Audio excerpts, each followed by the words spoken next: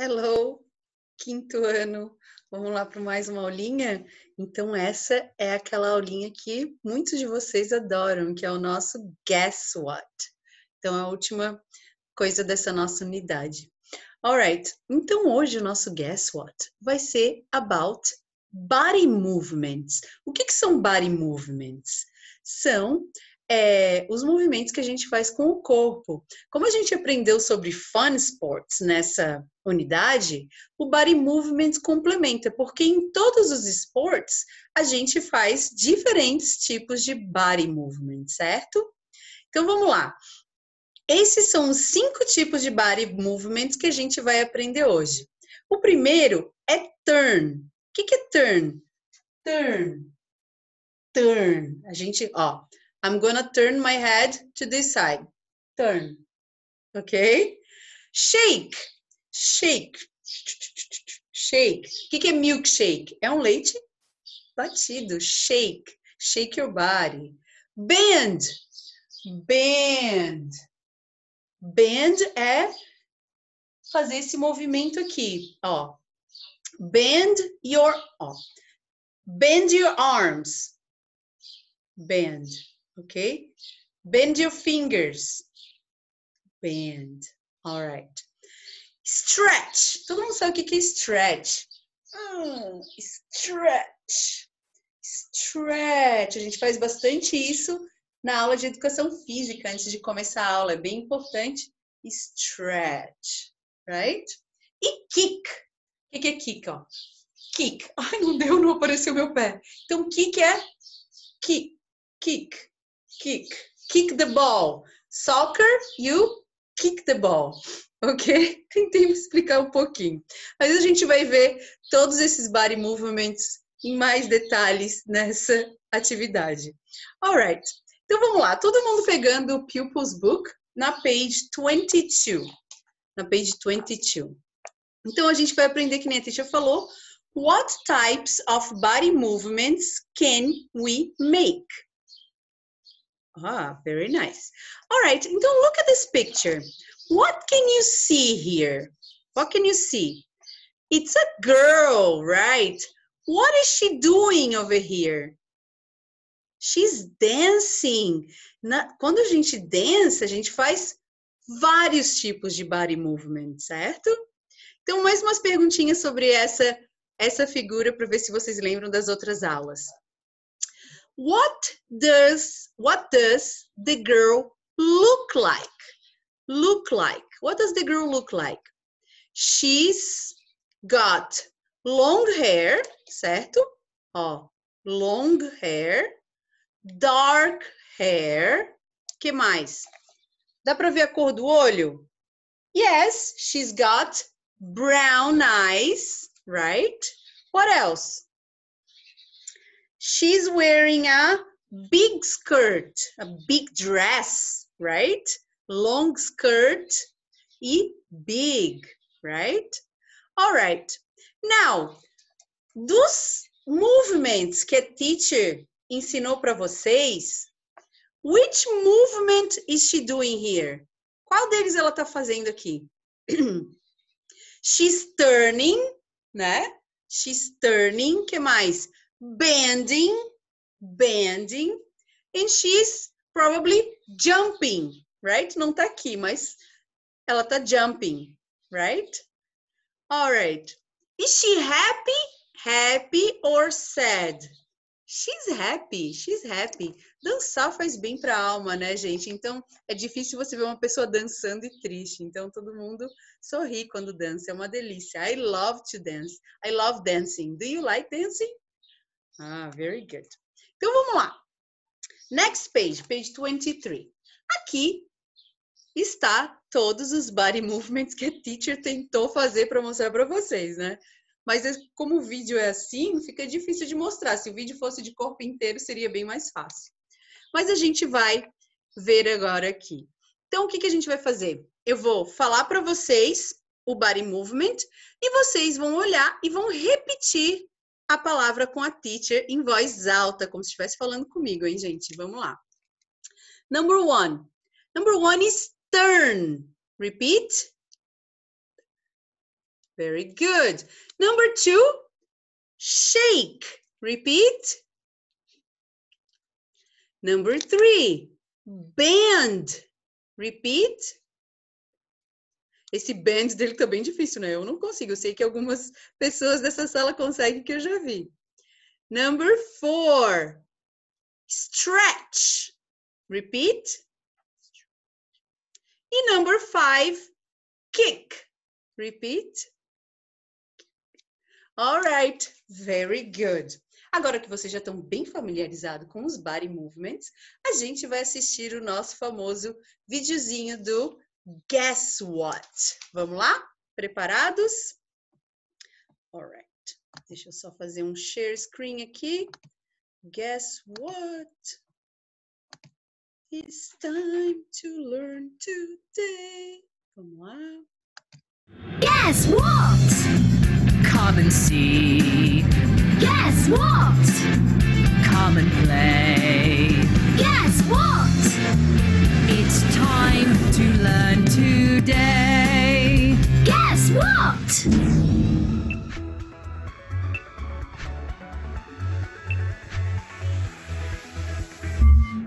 Hello again. Welcome back to Guess What?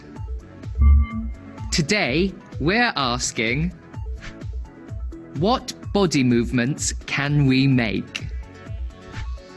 Let's find out. Turn.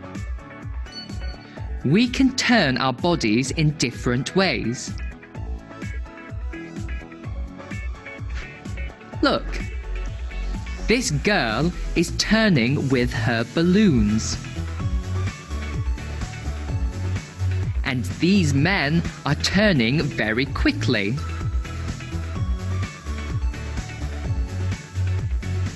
Look how this break dancer is turning his body using his arms.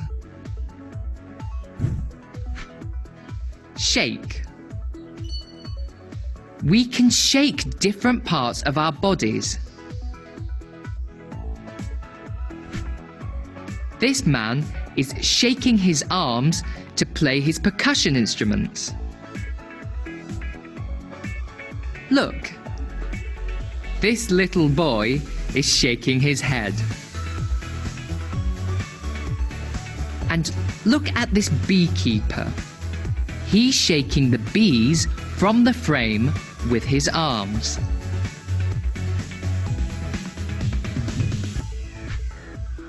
Bend.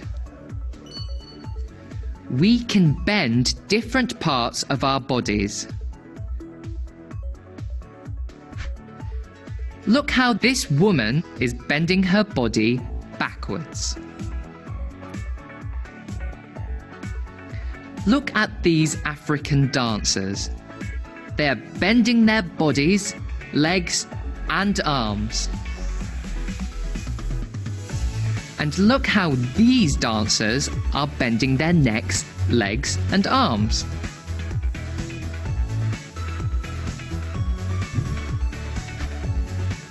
Stretch.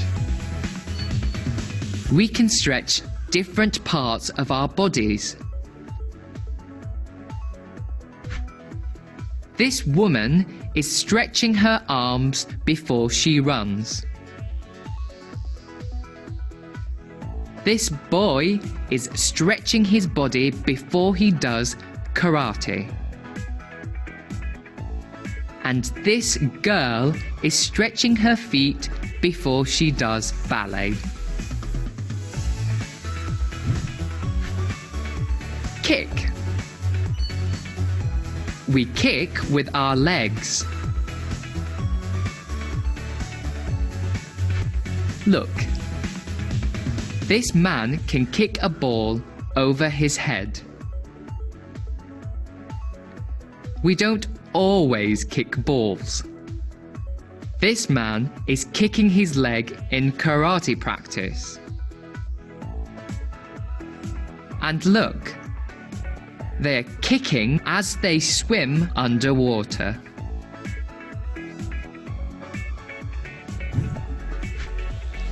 What do you know?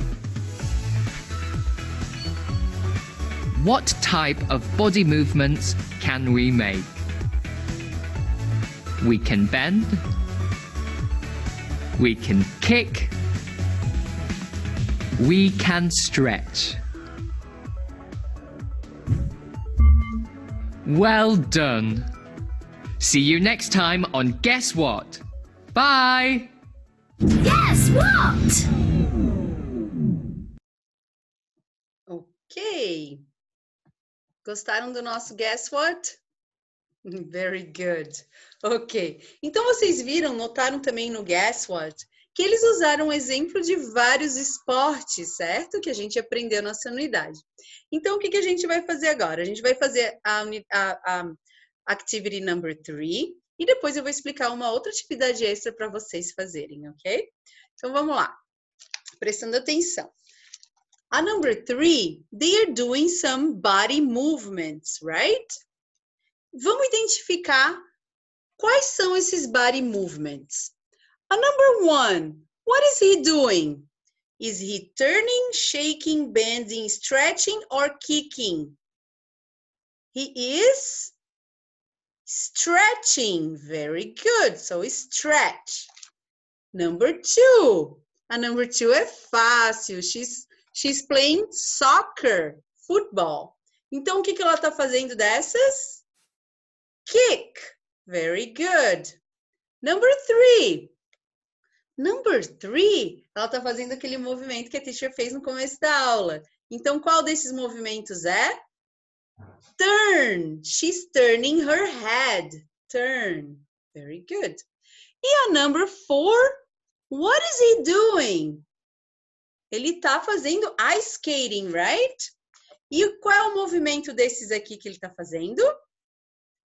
Bend. Very good. He's bending his body. Alright. Então, o que, que eu quero que vocês façam de atividade? A gente vai ter dois homework, ok? Um vai ser no Activity Book e o outro vai ser um project.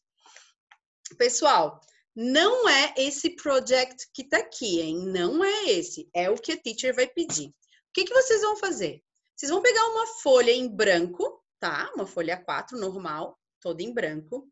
E vocês vão desenhar um tipo de esporte, ok? Vocês vão, por exemplo, vão desenhar você jogando soccer, futebol, um exemplo. O esporte preferido de vocês, your favorite sport. E nesse sport, vocês vão fazer os bonequinhos fazendo three types of movement. Desses cinco, vocês vão escolher três tipos de movimento. Quais são esses movimentos que a gente usa nesse esporte? Então, por exemplo, no futebol, a gente usa o turn, a gente turn para driblar, certo? A gente turn.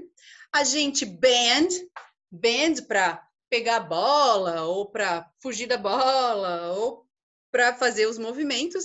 E a gente também usa o kick, que é o principal, né, gente, para kick the ball. Então, esse é um exemplo. Obviamente, a gente usa outros movimentos também, tem jump, run, né? Mas eu quero que vocês usem esse aqui. Então, escolham um esporte, façam um desenho bem lindo e tem que escrever os três tipos de movimento que se usa nesse esporte. Desses cinco, vocês vão escolher três. Quem quiser botar mais, também pode. E o que, que vocês vão fazer? Vocês vão pegar, agora vocês vão ter que reservar uma pastinha para inglês. Ou um plástico, um envelope, o que vocês tiverem em casa. E ali vocês vão colocando todas as tarefas que a teacher pede para vocês fazerem, tá?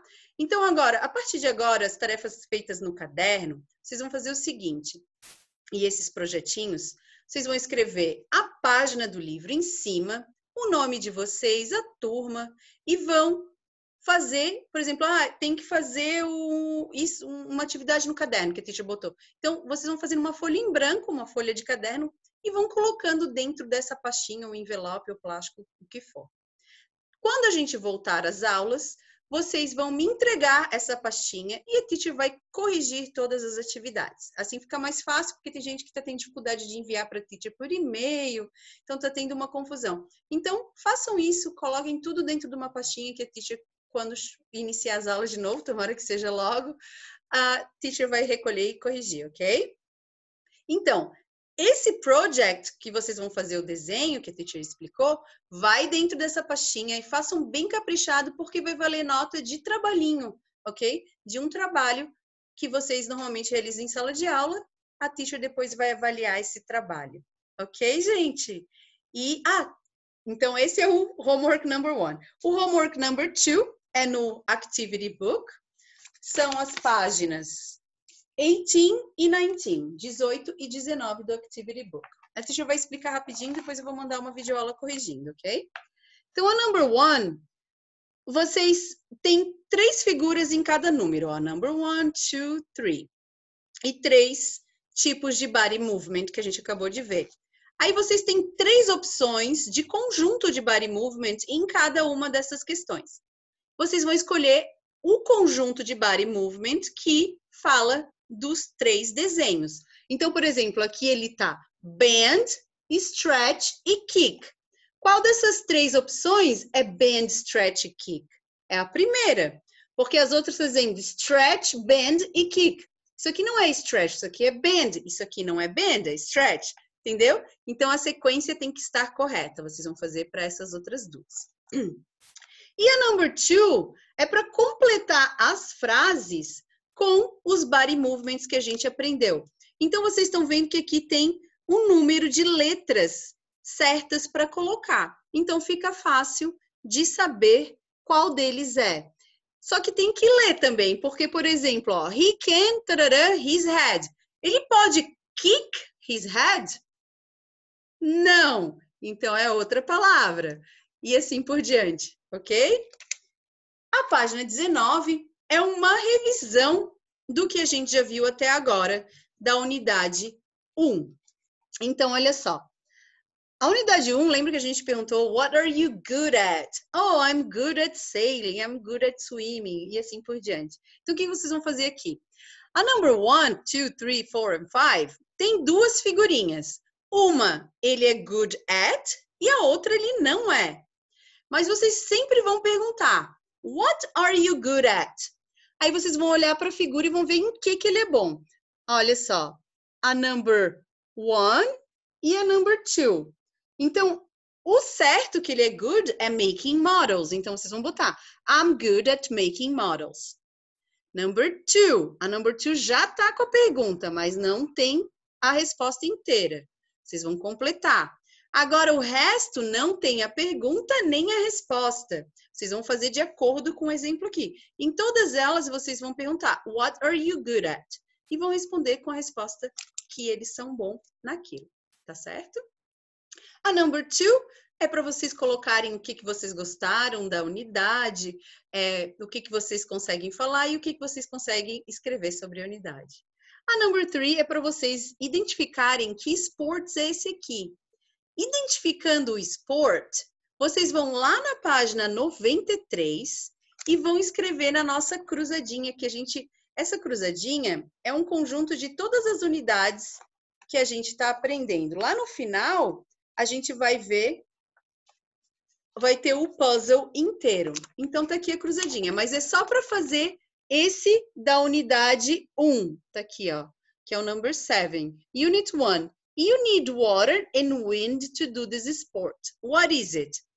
Aí vocês já descobriram qual é o esporte lá pela figura e vão escrever aqui no number seven. Não vou falar o que, que é, mas vou escrever a palavra aqui. Só isso nessa página, tá? Porque em cada unidade a gente vai preencher um diferente. Ok, gente? Entenderam tudo? Que bom. Então, por, isso, por hoje é só. Por hoje não, porque eu ainda vou gravar vídeo aula de correção da atividade. Ok? Kisses. Bye, bye.